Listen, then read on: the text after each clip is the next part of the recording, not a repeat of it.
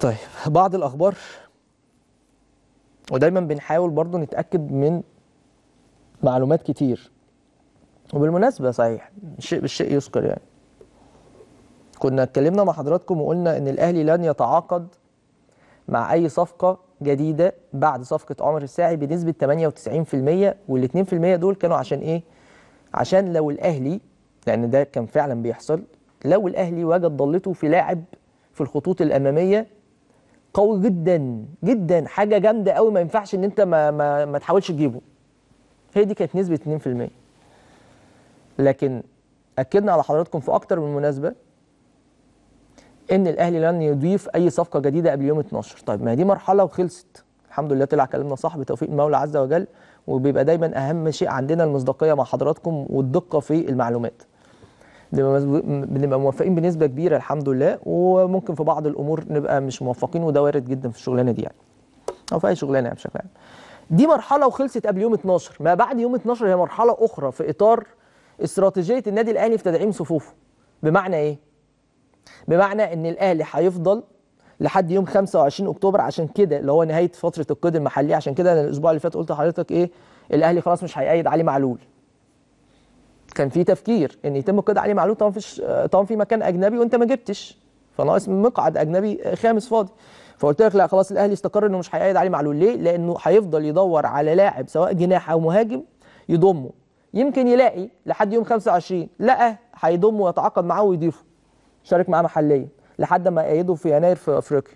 لأن الأهلي لسه ناقص له سبع أماكن يقدر يضيفهم في القائمة الأفريقية. ما لقاش. يفكر بقى النادي الأهلي يوم 25 أكتوبر يأيد علي معلول أو في يستنى ليناير. أنا بقول لك بقول لك الأقرب إن الأهلي هيستنى ليناير عشان يجيب الصفقة المنتظرة. ممكن تكون هي محمد علي بن رمضان برضو. تمام؟ فخلينا ننتظر ونشوف. طيب بالمناسبة حفل درع الدوري لسه ما تحددش ميعاده اللي هو بتاع الموسم الماضي. وممكن الدوري الجديد يبتدي ويخلص والأهلي ما يحتفلش بالدوري الموسم الماضي. عادي. عندنا هنا في الكرة المصرية ممكن تشوف أي حاجة. عادي جدا يعني. في بعض الأخبار يعني انتشرت بخصوص تجديد وتعديل عقود بعض اللاعبين. وخلينا نبتدي بالتحديد بمروان عطية. لأن ناس كتير بتتكلم على إن الأهلي عدل عدل عقد مروان عطية وإن خلاص تم ترضية اللاعب وإن عقده القديم كان مش عارف رقم كام فزودوه قد كده وكلام من ده. حقيقة الأمر ده يا جماعة مؤكد مؤكد لم يحدث. لم يحدث إن الأهلي عدل عقد مروان عطية حتى هذه اللحظة. ما فيش أي كلام حصل في القصة دي خالص. الأهلي أصلا مأجل هو الأهلي ينتوي إن هو يعدل عقد الشناوي وقلنا القصة دي من شهر ونص أو يمكن أكتر.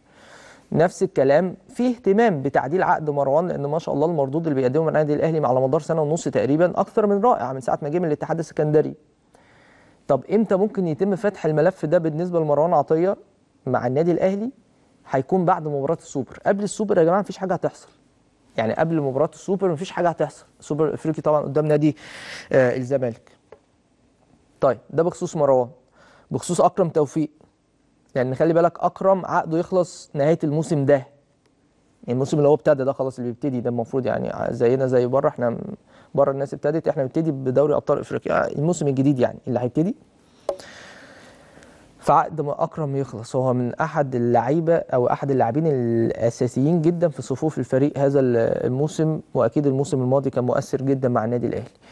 هل الأهلي اتكلم مع أكرم في تجديد أو تعديل عقد؟ لا ما اتكلمش خالص وما حصلش أي جديد. ممكن يحصل إمتى؟ برضو مع نهاية مباراة السوبر أو بعد نهاية مباراة السوبر الأفريقي مع النادي الأهلي. برضو بأكد على المعلومة دي لأن في ناس برضو اتكلمت في حتة إن الأهلي جدد لأكرم خلاص والقصة دي. ده الكلام ده ما حصلش بالمرة يعني اطلاقا يعني. طيب هدخل معاك في بعض الملفات الأخرى. طيب هل كولر عقده اتعدل أو قيمة عقده زادت؟ مع النادي الأهلي لأن الكلام برضو اللي اتقال أو اللي اتردد إن كولر بدل ما كان بياخد 220 ألف يورو أصبح عقده 250 ألف يورو. الكلام ده يا جماعة غير حقيقي بالمرة. غير حقيقي بالمرة بأكد على حضرتك معلومة. لأن كولر أصلا كان مجدد عقده مع النادي الأهلي من أكتر من سنة. تمام؟ ولم يحدث على الإطلاق إن الأهلي تواصل مع كولر وقعد معاه واتفقوا على تعديل العقد وإنه بدل ما يبقى 220 يبقى 250 ده كلام مش حقيقي. طيب عقد كولر وجهازه المعاون الأجنبي بعيدا عن ميشيل يانوكن هو في حتة ال 200 ألف يورو في الشهر. 200 ألف يورو.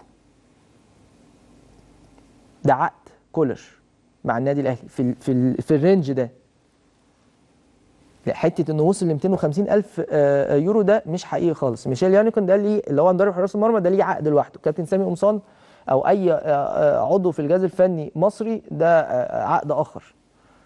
لكن أنا بتكلم على كولر ومساعديه الأجانب بعيدا عن ميشيل يانيكون. 200 ألف يورو. آه، آه، تزيد حاجة بسيطة تقل حاجة بسيطة لكن حتى مش ال 220 ولا زاد ل 250 فده برضو أو دي معلومة مؤكدة بنأكدها آه، على آه، حضراتكم.